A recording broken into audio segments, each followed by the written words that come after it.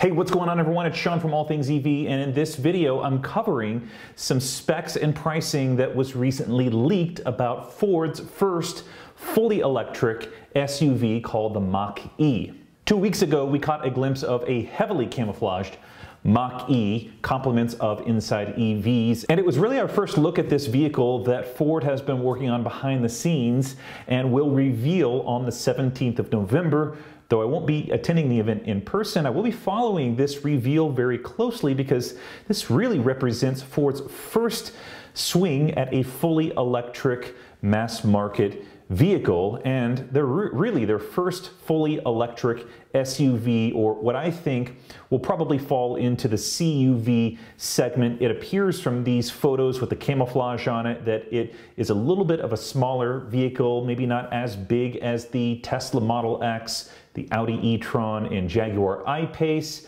Probably is more fitting to compare to a Model Y, which is what we're going to do a little bit later on in this video. But first I want to cover some of the specs that were leaked in this this is really, really exciting actually. So we're gonna start from most expensive to least expensive variant for the Mach-E. The first one, the GT, comes in at 60,500. It's gonna have a range of 235 miles, zero to 60 of about three and a half seconds.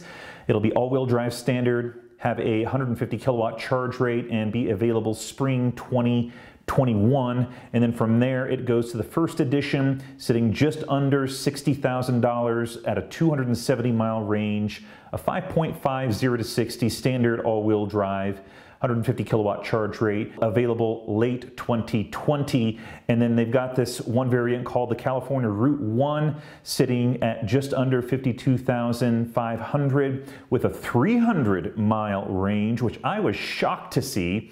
This will have a 0 to 60 of two and a half seconds, standard all-wheel drive, same 150 kilowatt charge rate, early 2021 availability. And then from there, premium at $50,600, a 300 mile range, five and a half second, zero to 60. It'll have the option to choose rear wheel drive or all wheel drive, 150 kilowatt charge rate, and available late 2020. And then lastly, the Select will be the least expensive variant of the Mach-E, sitting at just under $44,000 with a 230 mile range of five and a half seconds, zero to 60 the option for all-wheel drive or rear-wheel drive, 150 kilowatt charge rate, and availability early 2021. And there's a few first impressions that I have when I look through some of these leaked photos. Number one, it definitely looks like a Ford.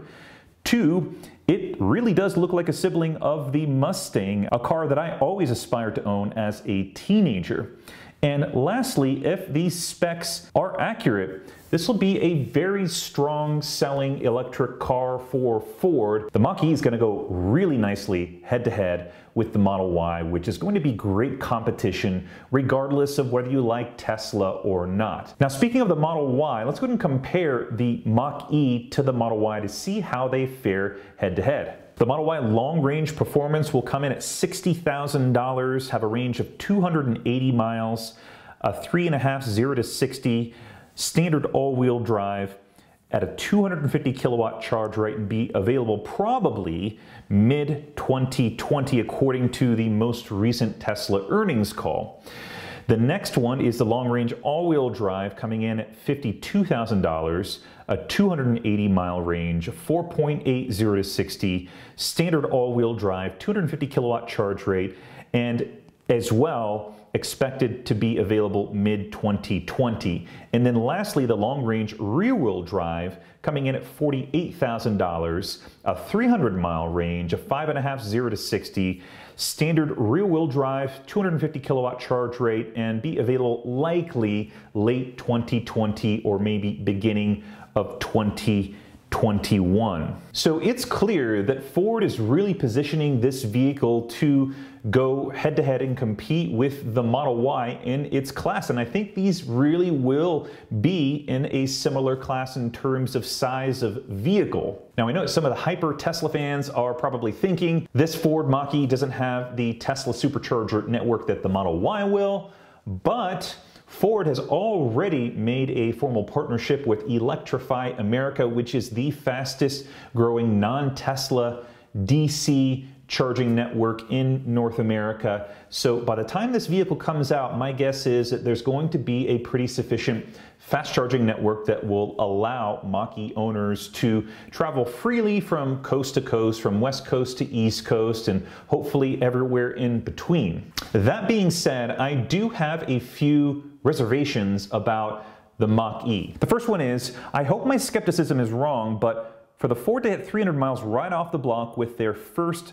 EV seems really challenging, especially knowing that no other automaker has a range of 300 miles or higher aside from Rivian, and they haven't even started producing their car yet. Also, the Mach-E does not appear to have a very small frontal mass. It's beefy and it reminds me a lot of a more petite, less expensive Lamborghini Urus from the front. And it actually appears like it might be built off of the Ford Escape platform. It seems like it's got a similar size and and aside from the Mustang-esque styling on the front as well as the rear, it could double as a Ford Escape. The only reason why I bring this up is because sometimes when traditional automakers try and take an old platform that was really built for an internal combustion engine and make it electric, traditionally it has never worked out well in terms of range and efficiency. Gasoline cars just aren't designed for maximum efficiency. Though the Mach-E does not fit my personal styling and preference, if Ford can stick to the specs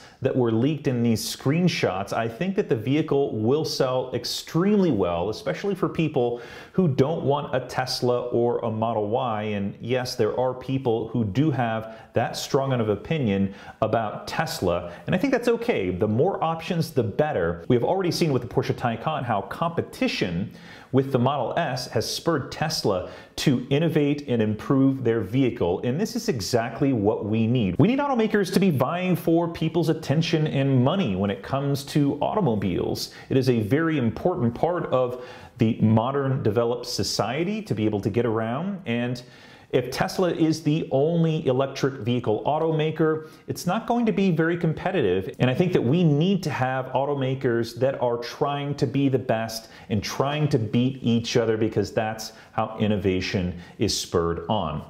Sean Mitchell, All Things EV, thank you so much for watching, and I'll catch everyone on the next video.